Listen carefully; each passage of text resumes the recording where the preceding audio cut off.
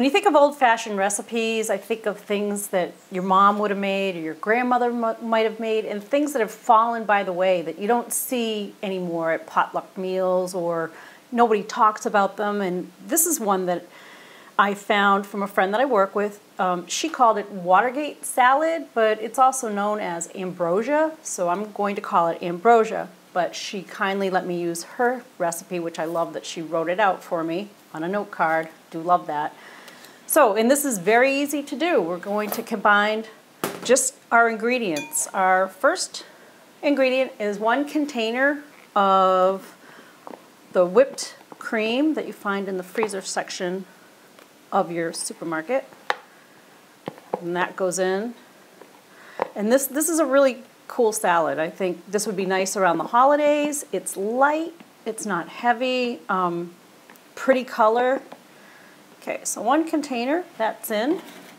And then I'm going to add the juice of the can of crushed pineapple that I have. Make sure you save the juice. That goes in. And then from that can, I have the crushed pineapple. This goes in. And then two packages of instant pistachio pudding well, now you see where the color's coming in. There's one and two. I actually had a hard time finding the instant, but it's out there. I'm gonna mix this first. Oh, see how pretty this is? Oh, in the right bowl at Christmas, St. Patty's Day, I don't care. I think it would be delicious anytime, but it is a pretty neat color. I'm gonna mix this up. Once I have it mixed, it's gonna go into the refrigerator and chill so it kind of firms up a little bit, but it smells really good. I think kids would love this too. And I bet if you wanted to swap out the pistachio pudding for another kind of pudding, I think that'd be okay too, if you like something else. Wouldn't be the same recipe, but it'd be good. All right, and then one cup chopped nuts. These are walnuts, very nicely chopped.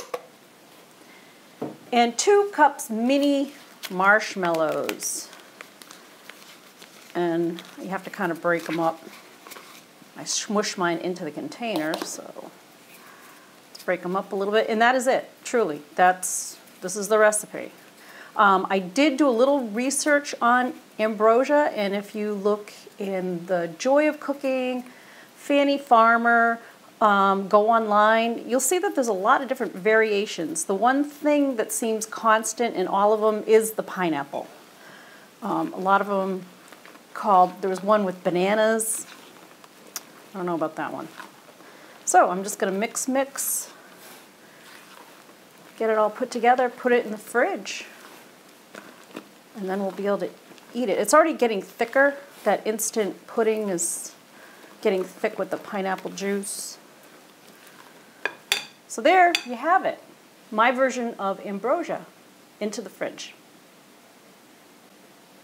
The ambrosia has been in the refrigerator chilling out and now it's time to serve. This is one serving suggestion. I think one of these for a person would be lovely. If you had a lot of people for potluck, you could serve it out of a bowl. You could use bigger glasses, smaller glasses. I think this is pretty. We garnished it nicely with a fresh strawberry that's fanned out.